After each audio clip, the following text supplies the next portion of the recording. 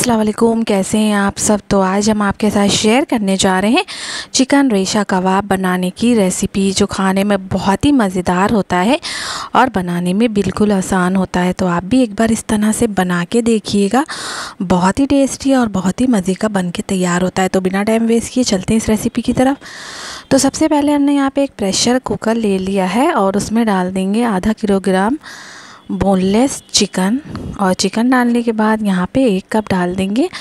चने की दाल जो कि मैंने पहले से भिगा के रखी थी, इसी के साथ एक कप यहाँ पे पानी डाल देंगे। इसके बाद इसमें एक टीस्पून नमक डाल देंगे और नमक डालने के बाद सारी चीज़ों को बहुत ही अच्छी तरह से यहाँ पे हम मिक्स कर लेंगे और मिक्स करने के बाद इसमें लेट लगा देंगे और लेट लगाने के बाद हाई फ्लेम पे एक सीटी लेंगे। फिर गैस की फ्लेम लो टू मीडियम पे 10 से 12 मिनट लिए इसको कुक करेंगे। तो 10 से 12 मिनट हो चुके हैं।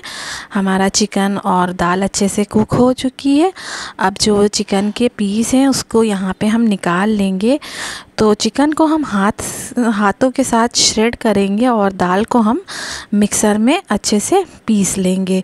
तो चिकन के सारे पीसीस को हमने यहाँ पे निकाल लिया है और दाल को हम मिक्सर के जार में निकाल लेंगे और मिक्सर के जार में निकालने के बाद हम इसमें बाकी की चीज़ें ऐड कर देंगे।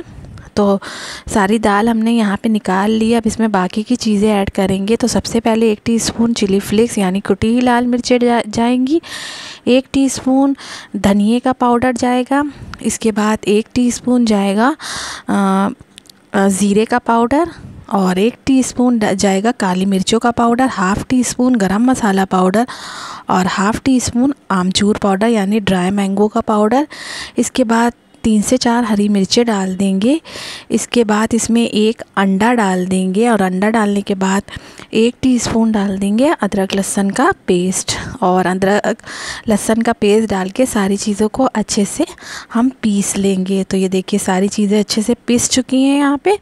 अब जो हमने चिकन लिया था तो उसको हाथों के साथ बहुत ही अच्छी तरह से यहाँ पे हम श्रेड कर लेंगे।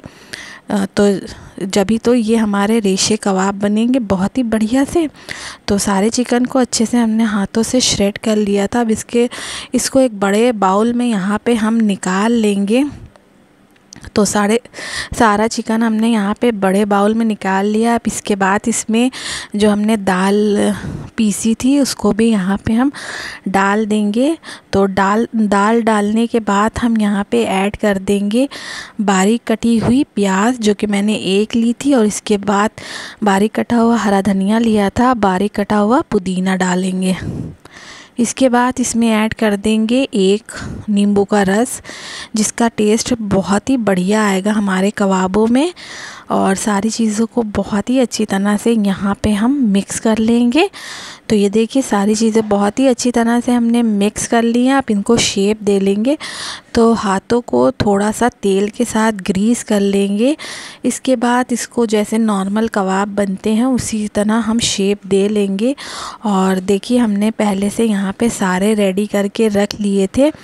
तो इतने सब चीज़ में हमारे पंद्रह से बीस कबाब बन के रेडी हो जाते हैं। तो चलते हैं इसके नेक्स्ट स्टेप की तरफ़। तो हमने एक बाउल ले लिया है, उसमें डाल देंगे एक अंडा और अंडा डालने के बाद इसमें ऐड कर देंगे थोड़ा सा नमक और थोड़ी सी लाल मिर्चें डाल देंगे। अपने हिसाब से आप डाल दीजिएगा और थोड़ा सा दूध डाल देंगे ताकि जब हम कबाब की कोटिंग करें तो थोड़ी मोटी ना लगे। और अच्छे से मिक्स करने के बाद आप कबाब को इसमें अच्छे से डिप करके और फ़ौरन से हम फ्राई होने के लिए डाल देंगे। तो हमें कबाबों को यहाँ पे शैलो फ्राई करना है। जब तक फ्राई करेंगे, जब तक इसमें बहुत ही प्यारा सा गोल्डन ब्राउन कलर नहीं आ जाता। तो इसको फ्राई होने में कम से कम छः से सात मिनट लगेंगे। तो लो टू मीडियम पे हम इसको अच्छे से शैलो फ्राई करेंगे।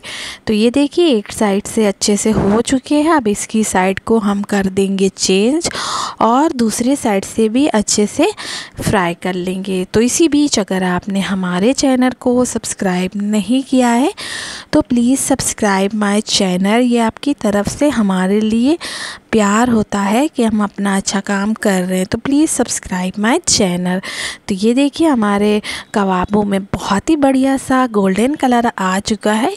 कितने बढ़िया सा कलर आया है और खाने में बहुत ही टेस्टी और मज़ेदार होता है।